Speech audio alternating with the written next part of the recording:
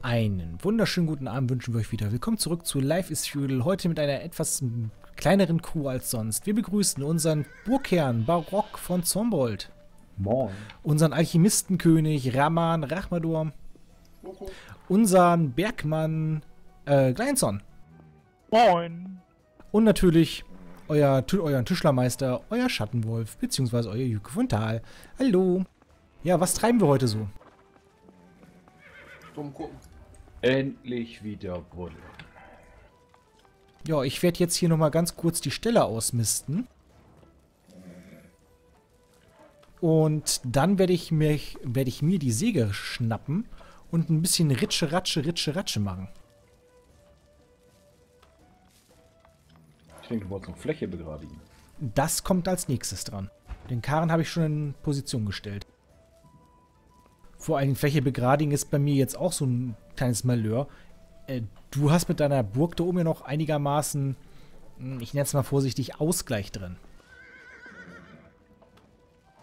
Ausgleich? Was meinst du mit Ausgleich? Ihr musstet vom Berg ab aufschütten. Ich muss vom Berg ab her abgraben. Ich weiß gar nicht genau, wie ich das hier mit den Palisaden so gut hinkriegen soll, dass das gut aussieht. Mir ist da leider so ein scheiß Berg im Weg. Tja.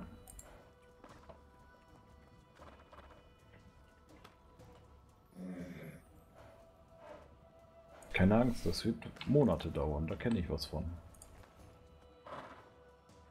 Ja, ich bin gerade überlegen, die Apfelbäume oben sind hier soweit ausgewachsen. Und ich will jetzt ehrlich gesagt nicht noch großartig in die Plantage von Silkene rein. Ob ich vielleicht zwei, drei Reihen Äpfelbäume wegnehme, weil wir haben genug Ersatz unten gekriegt. Die ausgewachsen sind.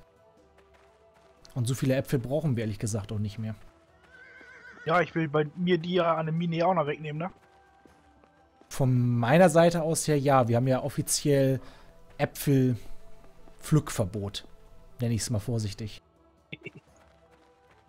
Ja, und zur Not haben wir etwas außerhalb jetzt eine neue Plantage, die kann ja noch vergrößert werden. Mhm. Dann würde ich sagen, werde ich demnächst hier auch nochmal das Hackebeil ansetzen, drei Felder reingehen. Und, na, zwei Felder dürften auch erstmal reichen. Weil dann komme ich hier so allmählich auf die passende Größe, die ich für den Platz brauche. Weil wie ihr es jetzt bei mir sehen könnt, das alles hier muss weg. Bis ungefähr hier. Wobei ich werde aber hier den Berg hochgehen. Meine Palisade wird gebaut von hier bis circa hier. So dass ich hier drei Felder Platz habe, damit ich mit dem Kahn hier durchkomme. Und dann geht es hier den Berg schön gemütlich hoch.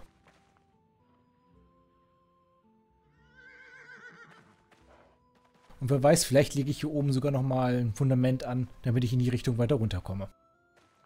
Wer weiß, wer weiß, wer weiß. Dann kommt hier auch nochmal ein Aussichtsturm hin. Apropos, habt ihr eigentlich schon gesehen, was ich hinten inzwischen so hochgezogen habe? Wenn ich mal irgendwann Zeit dafür habe, komme ich bestimmt mal gucken.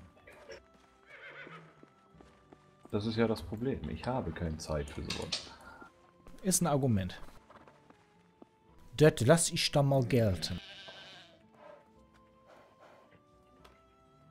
In einem halben Jahr, wenn ich mit dem Aufschütten fertig bin, dann können wir darüber reden. Manchmal bist du ein ganz schöner Schwarzseher. Ja, List. Sagt er jemanden, der schon seit über einem halben Jahr am Schippen ist.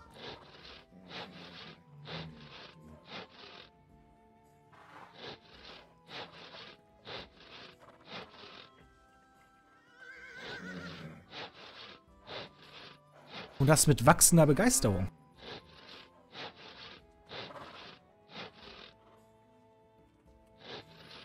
So wachsende Begeisterung nennst. Immer doch, immer doch.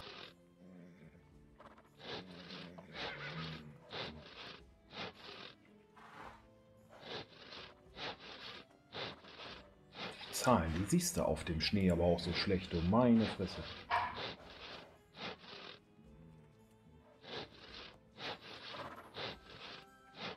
Ja, ich weiß auf jeden Fall, was du meinst. Ja, kann man auf weißem Untergrund gelbe Zahlen machen? Mal ernsthaft. Nichts ist unmöglich. Braucht ihr noch eine Wache? Was, eine Waffel? Eine Bache. Eine Bache? Nee. Okay.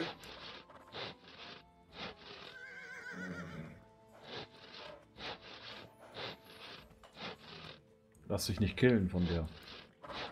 Nö, ich lasse sie auch in Ruhe. Aber ich sehe hier halt eine, deswegen fragte ich. Keine Sorge, die will nur spielen.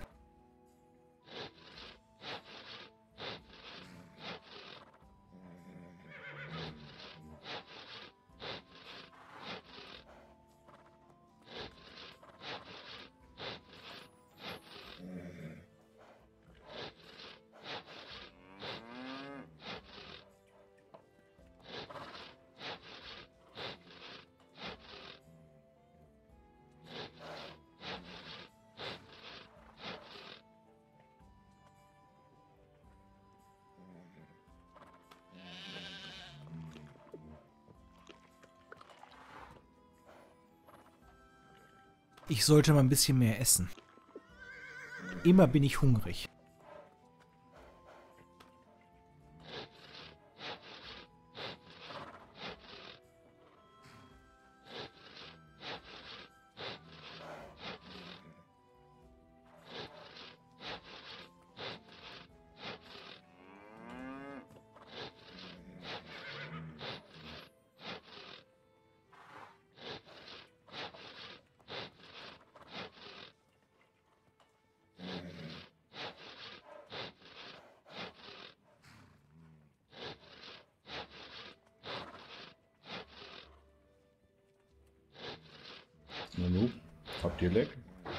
Ein. Ich hatte hier wieder so ein Mikroleck irgendwie da.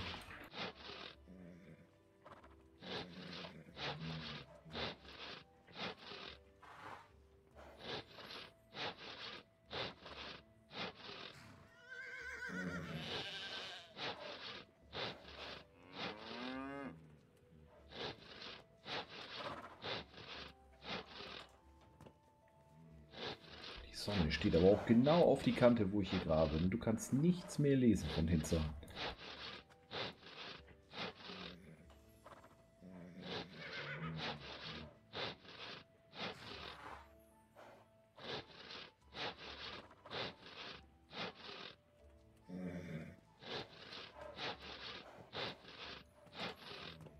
Übrigens wäre unser Monument so weit, dass wir das ausbauen könnten. Kannst du denn die Sachen schmieden dafür oder hat Tabula das gemacht? Ähm, wir haben nicht genug Flussmittel.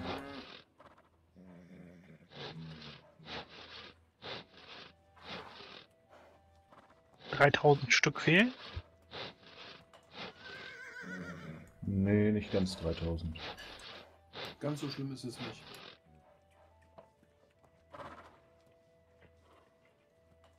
Es fehlen etwa 2999. Das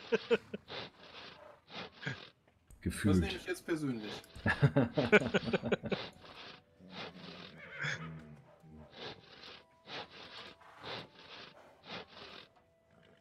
Ja, 3000 Flussmittel muss doch erstmal haben. Und da geht's Ah. ja schon los, dass wir die Kräutergärten nicht dafür haben. Kein Kommentar.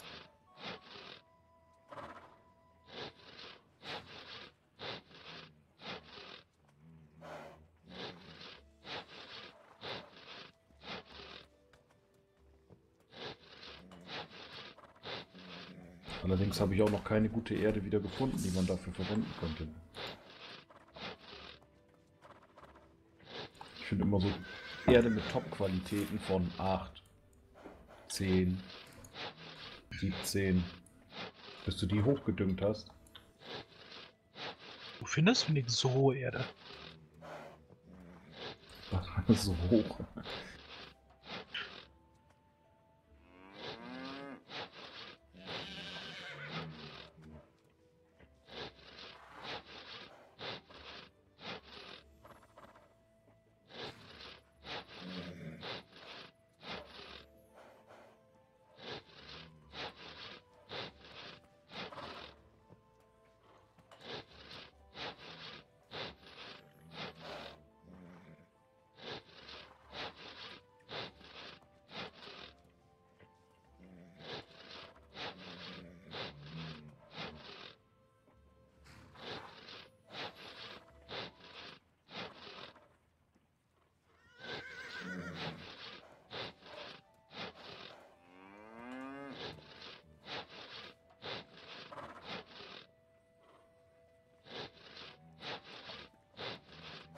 Spitzhacke kaputt.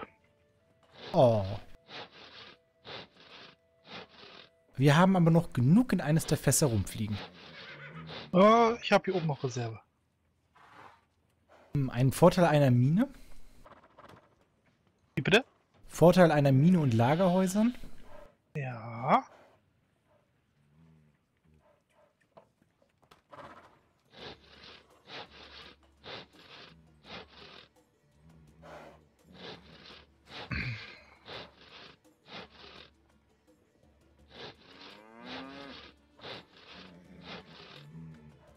Ich habe schon wieder so einen scheiß Blutsauger an mir gehabt, ey. Ich mag dieses Event nicht. Das ist so eklig. Ein Blutsauger? Du fühlst plötzlich ein stechendes. Ähm, Moment, wo ist der Text? Du fühlst plötzlich ein Stechen in einer weichen und privaten Gegend deines Körpers. Das Event müsstest so. du eigentlich kennen. Ja. Aber immer noch besser, als wenn dir die Spitzhacke zerbricht, du auf den Stein haust und dir die Axt ins, in den Kopf haust, dich eine Schlange beißt. Dir einen Ast in das Gesicht schlägt, dass du sekundenlang nur verschwommen siehst, als wenn du betrunken bist nach drei Bier. Oder eine Wespe ins Auge sticht. Richtig. Ne, Entschuldigung, es war glaube ich eine Biene. Da gibt es so viele Ereignisse, die echt nervig sind.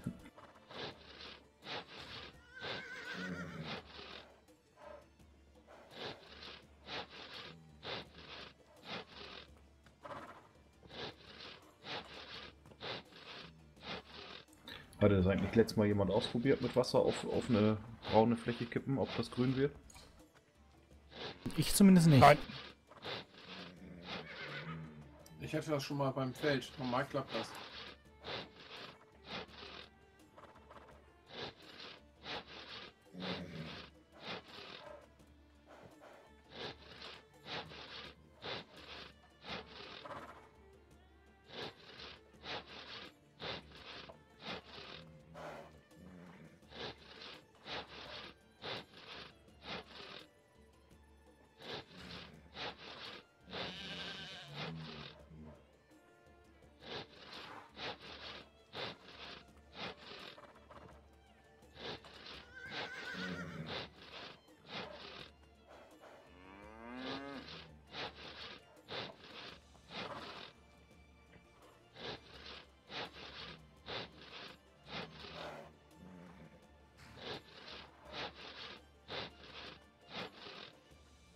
Denke mal, bei der nächsten Folge könnte meine bessere Hälfte dann auch wieder dabei sein. Ist sie doch gekommen? Ja. Dann kann sie ja erstmal den Turm wieder reparieren, den du zu Klump geschossen hast. Und dafür muss ich erstmal eine Fläche aufgießen. Ja. Nicht den Turm, der einen weiter hinten, Ach so. den du so da versehentlich vier, fünfmal getroffen hast. Er hat auch zwischendurch die Mauern überall getroffen und sowas. Also, Ja, da freut sich Nikola bestimmt. genau. Kann sich austoben.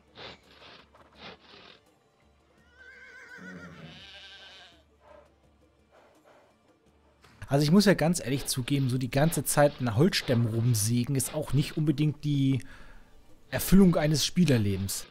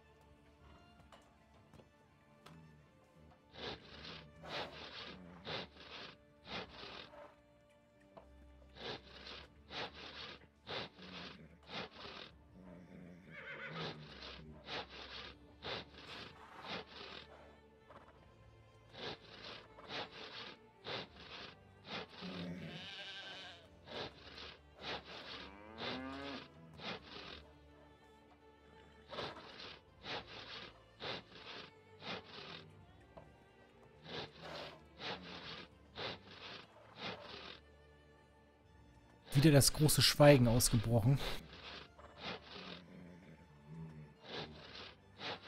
Sieht so aus. Erzählt doch mal ein bisschen was. Was sollen wir denn erzählen? Stellt Fragen. Ansonsten kann ich auch gerne eines meiner Märchenbücher rausholen und mal Märchen vorlesen. Mach doch. Nee, dann rennen die Zuschauer schreiend weg. Hast es aber vorgeschlagen, also mach.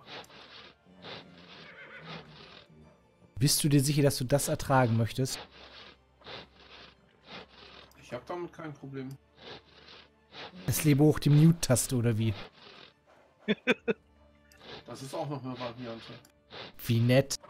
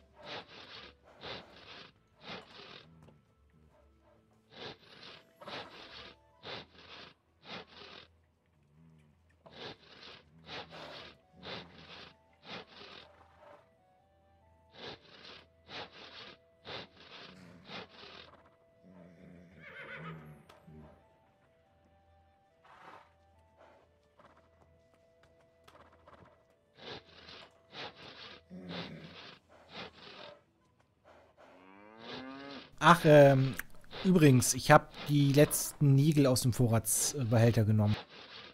Die letzten 130, die da waren.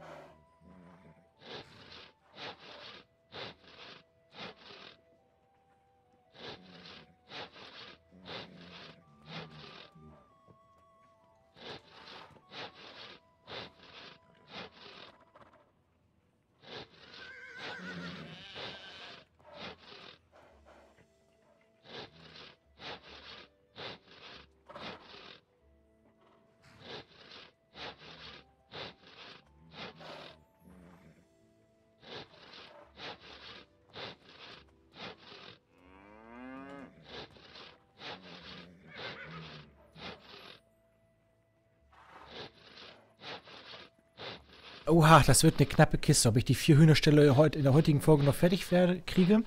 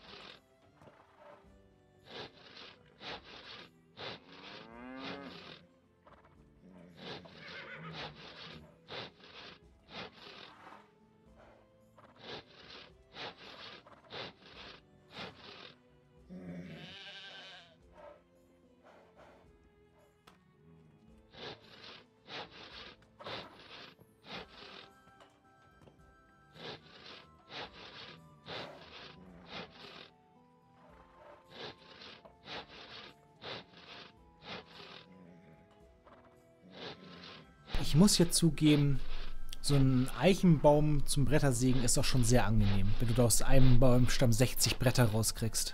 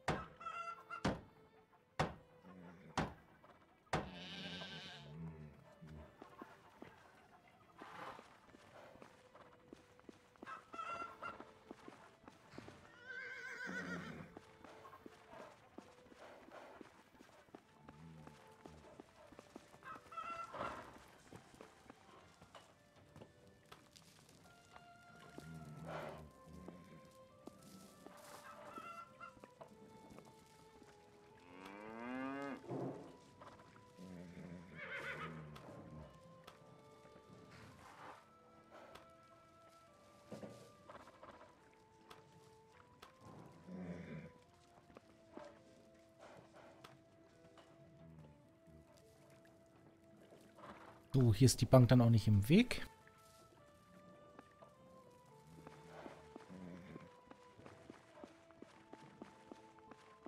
Dann geht's jetzt mal hier hinten weiter. Sag mal, habt ihr mich jetzt eigentlich alle gemutet oder warum hört man von euch gar nichts mehr? Wir spielen einfach mal Ignoriere den Jujuka. Das Problem ist, das traue ich euch auch leider hundertprozentig zu. Gemein sind.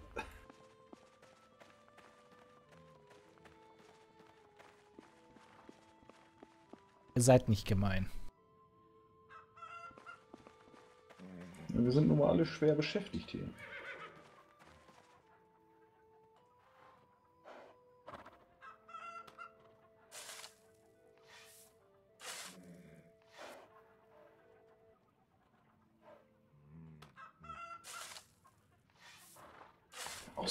Schon wieder weg, ne? Das ist so unglaublich.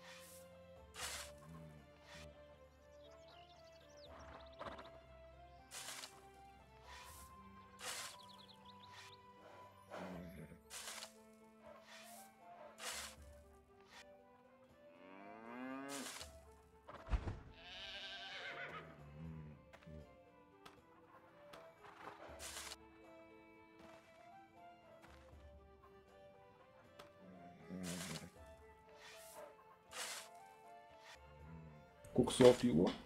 Ja, ich habe die Uhr im Auge. Und glaubt mir, das ist ein echt schmerzhaftes Gefühl. Nee, äh, Spaß beiseite. Wenn es euch gefallen hat und ihr bei uns mitspielen möchtet, wir sind natürlich jeden Sonntag zwischen 18 und 22 Uhr für euch erreichbar. Server-IP und Passwort findet ihr in den Videobeschreibungen von Barock und von mir. Äh, Wenn es euch gefallen hat, lasst uns doch einen Daumen oder Kommentar da. Über ein Abonnement würden wir uns natürlich auch natürlich sehr freuen. Empfehlt uns auf jeden Fall weiter. Guckt auch morgen gerne wieder rein, wenn es morgen wieder heißt Life is Feudal. Und wir wünschen euch natürlich noch einen schönen Abend. Bis denn. Tschüss. Tschüss. Tschüss. Ciao.